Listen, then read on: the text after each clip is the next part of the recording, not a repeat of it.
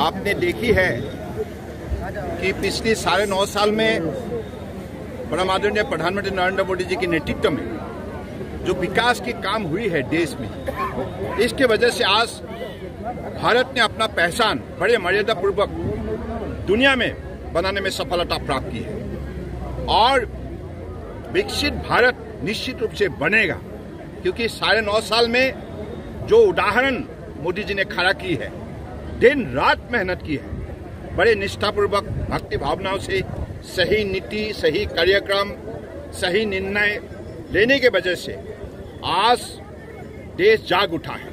देश का हर प्रांत विकास के रास्ते पर तेज से चलने लगा है। तो इसलिए जो मोदी की गारंटी की गाड़ी आज यहाँ पहुँचा है। और आज इस गारंटी के गाड़ी ने यही संदेश लाया है कि हमारे अलग अलग जो कार्यक्रम जो भी योजना, इस योजना से जिसके लिए एक योजना बने गई है, बनाया गया है, इस योजना का 100 प्रतिशत जनता को मिलना चाहिए। किसी प्रदेश में, किसी पंचायत में, किसी व्यक्ति का नाम रह गया क्या?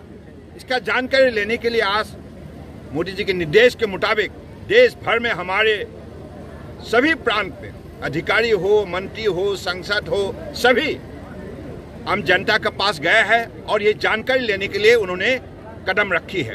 तो इसके लिए मैं भी आज आया यहाँ तो मुझे अच्छा लगा। यहाँ के जनता, उन्होंने अपना मंच पे आके खुद बताया, चालीस साल ये गरीब व्यक्ति, वो बीजेपी में थे, लेकिन उनको कुछ नहीं मिला। लेकिन बीजेपी सरकार ने उनको एक प्राइम मिनिस्टर आवास योजना देकर समाज में उनको मर्यादापूर्वक जीवन जीने के लिए एक मौका दिया है। इसके लिए उन्होंने धन्यवाद ज्ञापन की है मोदी जी को। तो इससे साफ़ यही है, सारा देश में कन्याकुमारी से कश्मीर तक, अरुणाचल प्रदेश से गुजरात तक, सभी प्रदेश में, सभी केंद्र शासित इलाका में, सभी गाँव में, सभी शहर में जो भी गरीब व्यक्ति है, जो भी योग्य व्यक्ति है, उसको ये कार्यक्रम का, ये योजना का 100 प्रतिशत लाभ मिलना चाहिए।